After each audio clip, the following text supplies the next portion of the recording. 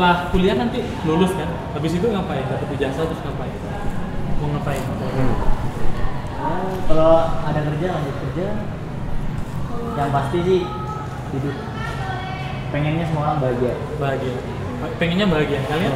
Kalau aku sih eh, ngalir aja, tapi tetap pada orientasi yang aku tuju itu kayak eh, jadi sukses terus eh, S2 gitu. Tapi tetap ngalir aja, nggak usah dipaksa saya perempuan saya ingin mempunyai ilmu yang lebih untuk bekal di masa mendatang kalau mbak Amin? Apa? Tujuan tujuan kuliahnya ngapain? Ah, tujuan kuliah ya? Hmm, disuruh orang tua tadinya aku nggak mau kuliah. Oh gitu Ya mau jadi pengajar. pengajar dosen? Ya. apakah mas bahagia kalau seandainya nanti jadi pengajar tuh tercapai? Karena itu cita-cita jadi pengajar, jadi cita-cita yang paling yang diinginkan? tinggi daripada cita-cita yang lain. Hah? Ya saya bahagia kalau Bahagia. cita yang tinggi ya. Oke, berarti setelah lulus ini langsung ngajar atau kuliah lagi? Tergantung kualifikasi orang mengajar itu seberapa kamu dulu. Kenapa tertarik mendaftar dosen? Jangan ada panggilan lo ya. Tadinya kan mau S3 Mau- tadinya mau S3. Ya udah, setelah lulus kan harus mengabdikan ilmu yang didapat. Ada peluang untuk mengajarkan sesuatu yang saya concern bener misalkan saya ke ilmu sosial masalah-masalah sosial masalah ketidakadilan masalah kekerasan Kalian posisinya nih lagi bergantung pada kuliah kalian agar kalian mencapai sukses. ya Begitu ya?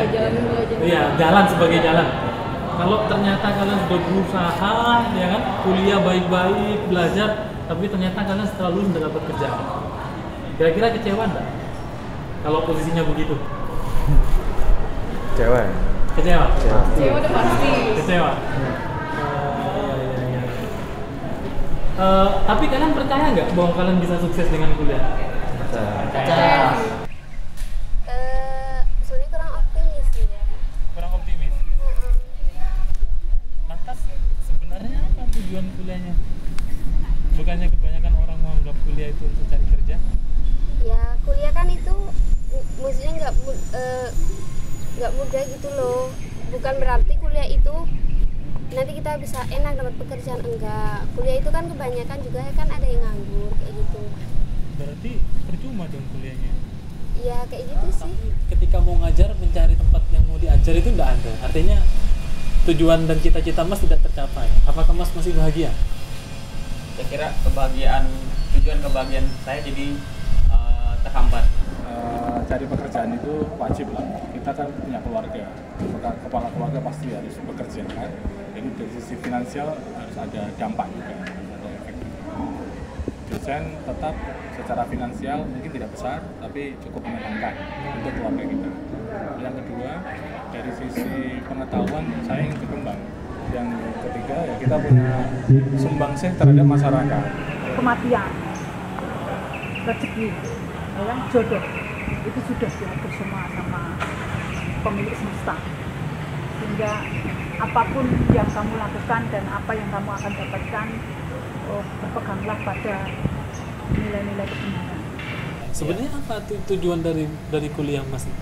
Belajar dari S1 mungkin atau mungkin bahkan S2 lagi nanti kalau mau jadi dosen misalnya. Untuk kebahagiaan itu kebahagiaan itu ilmu banyak, jadi pengajar pengajar ilmunya banyak, itu bahagia. Kalau menurut saya. Kalau berarti kalian nanti kecewa kalau udah sukses, saya nanya nih, berarti tujuan kuliah kalian apa dong? Apa semata-mata hanya untuk cari kerja? hanya sarana sih Sarana? iya oh, buat cari pengalaman biar peluangnya lebih besar sedikit Berarti kalau misalnya nanti tidak ada ruang untuk meneliti dan untuk menjadi dosen, artinya kan tidak ada ruang untuk mengaplikasikan apa yang Mbak dapatkan selama ini. Terus gimana kalau kejadiannya?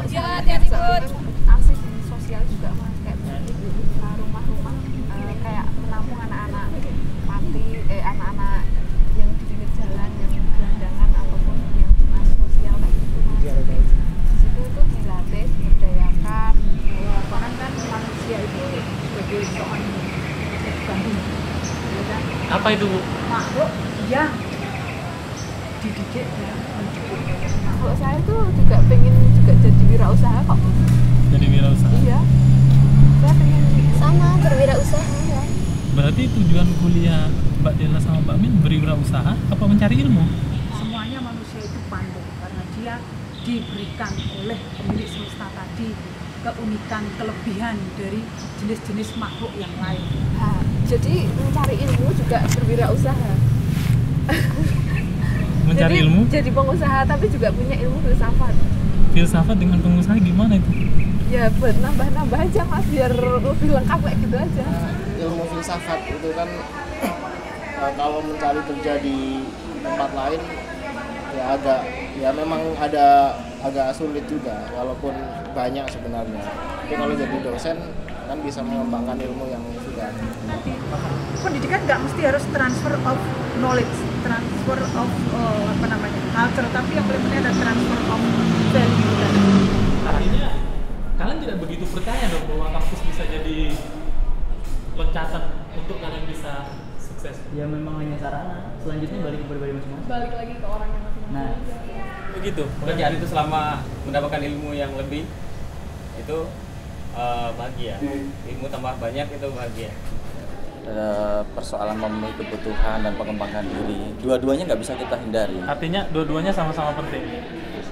Iya penting dan tidak terhindarkan Tidak gitu loh. terhindarkan. Kalau kita tidak mengembangkan diri, kita tidak bisa melaksanakan tugas dengan baik. Kalau kita tidak bisa melaksanakan tugas dengan baik, ya artinya kemudian itu mempengaruhi uh, survival kita juga gitu kan. Sebenarnya tujuan mas kuliah itu mencari kebahagiaan agar dapat pekerjaan nanti sebagai pengajar atau mencari ilmu? Mencari ilmu untuk kebahagiaan. oh buat cari pengalaman Isi waktu juga sih mas. Isi waktu.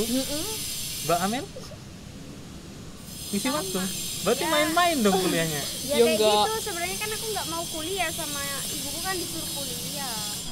kita harus eh, berlomba-lomba dan tidak hanya mengandalkan ini yang ada di kampus saja kita harus tetap eh, terus menerus melangkah maju Rezeki udah ada yang ngatur. Nah, rezeki udah ada yang ngatur mas. Oh berarti bergantung pada Tuhan gitu. Yo tidak, ya enggak, ya itu itu juga iya, tapi yo kita juga usaha juga. Berarti kalau begitu tujuan kuliahnya apa dong? Mau mencari ilmu, bener-bener hanya mencari ilmu? Atau mau memang kerja? Mencari ilmu iya, mengisi waktu luang juga iya. Dua-duanya sih. Dua-duanya. Tapi kan kita bisa saja mendapatkan ilmu tanpa harus kuliah. Kenapa harus kuliah? Kalau semata-mata hanya ingin mendapatkan sebuah pekerjaan dan kebahagiaan karena dapat pekerjaan sebagai mengajar, kenapa harus kuliah? Ya mungkin salah satunya dengan cara kuliah.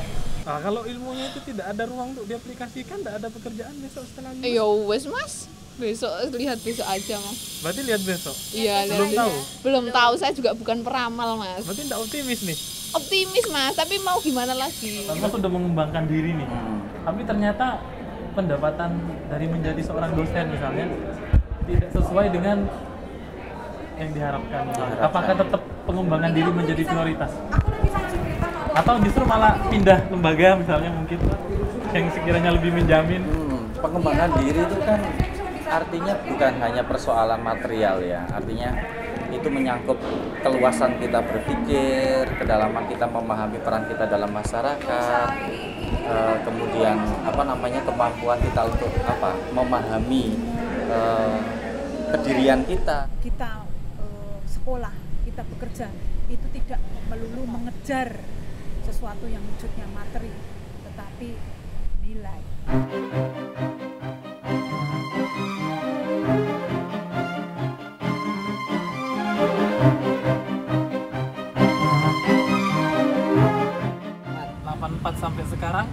Iya. masih ngekos mbak Iya, belum belum belum berhasil membeli rumah sendiri belum. berarti mbak anu mbak apa namanya merasa tidak cukup masih pendapatan Ya. menjadi filsafat Untuk kebutuhan sehari-hari ya dikatakan cukup ya jadi belum, dikatakan belum ya cukup lah gitu saja. Uh, istilahnya gimana ya? Ya sudah. Walaupun eh, gaji atau penghasilan cuma segitu, tapi kelihatannya rasanya itu enak kerja itu loh. Nah, artinya kerja di filsafat belum bisa membuat mbak membeli rumah seperti pegawai yang lain Belum. Belum. belum. nah, nah sebenarnya tujuan mbah kerja itu untuk mendapatkan uang atau mendapatkan rasa Ya, yang enak pertama ya gaji atau uang tadi kedua ya perasaan gitu yang utama yang mana nih mbah nggak ada utama kedua-duanya bersa- berjalan bersama dengan Iya. kondisi dan Iya. situasi yang Iya. mbah rasakan belum merasa sepenuhnya terpenuhi Iya. belum belum sejahtera terpenuhnya Belum, iya. ter- belum sejahtera Iya, sepenuhnya sebenarnya, iya. nah sebenarnya apa sih yang menjadi tujuan Mbah itu kalau kalau bukan hanya untuk mencari semata-mata mencari pendapatan mensejahterakan keluarga apa ya sebenarnya- gitu nah mungkin itu dulu Mbah Iya. terima kasih maaf ya Mbah mengganggu